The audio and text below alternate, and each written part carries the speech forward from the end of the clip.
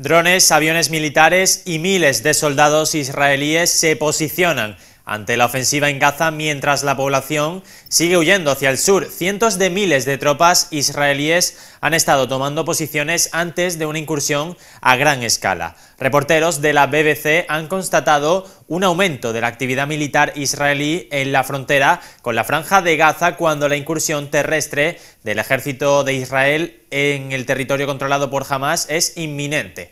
Se puede escuchar el zumbido distintivo de los drones de vigilancia, así como el rugido de los aviones militares israelíes que se dirigen a Gaza. Cuenta uno de los periodistas. Mientras tanto, miles de palestinos siguen huyendo del norte de Gaza antes de la esperada ofensiva terrestre de Israel. Por su parte, las grandes potencias mundiales siguen posicionándose y China ha expresado que las acciones de Israel en Gaza tras el ataque de Hamas han ido más allá del ámbito de la defensa propia. Para el gigante asiático, todas las partes no deben tomar ninguna medida que escale la situación y deben volver a la mesa de negociaciones lo antes posible.